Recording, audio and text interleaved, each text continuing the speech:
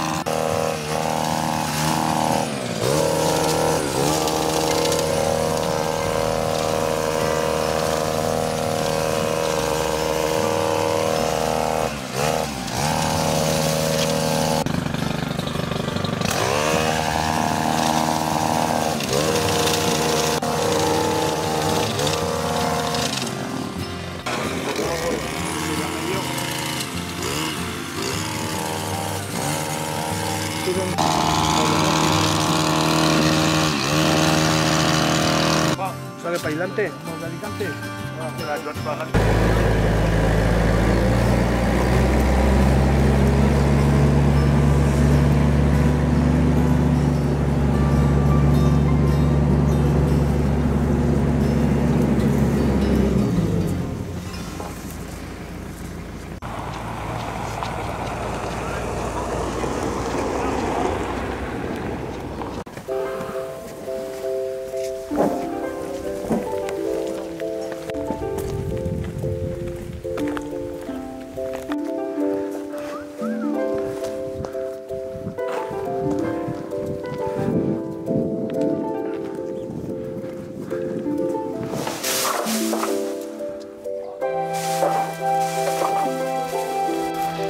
que no salgas, que no me dejan.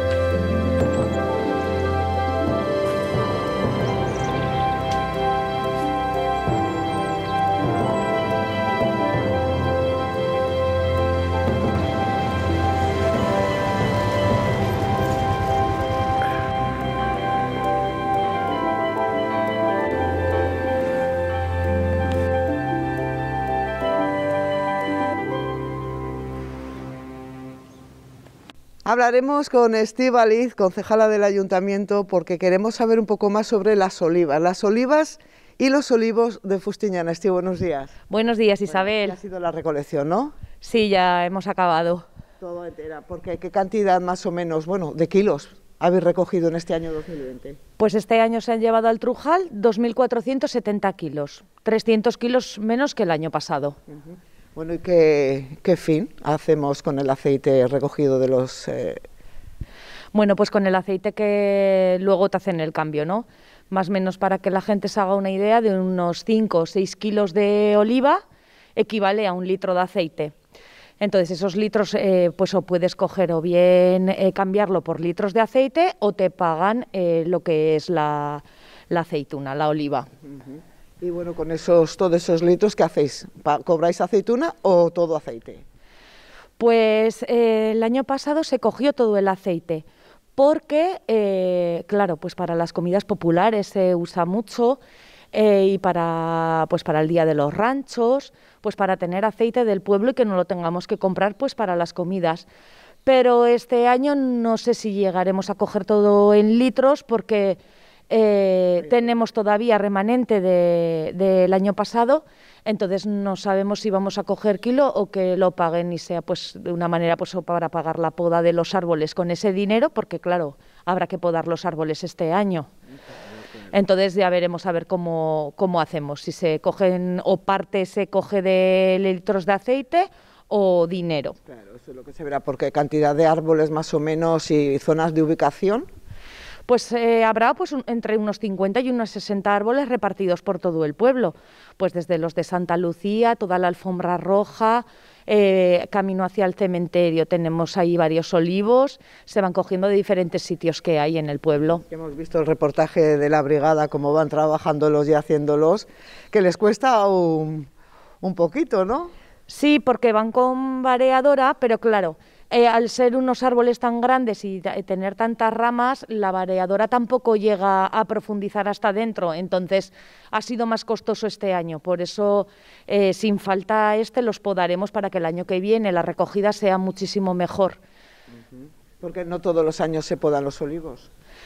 En teoría, los olivos se tienen que podar todos los años, porque si no, al año siguiente es muy complicado eh, recoger. A mí, por ejemplo, en mis campos me ha pasado lo mismo. El año pasado no podé los árboles y este año he pagado la primada de que me ha costado coger las olivas mucho más tiempo porque no, no te alcanza la máquina para sacar toda la oliva que tiene dentro. Y luego que tiene que ser a mano. Exactamente.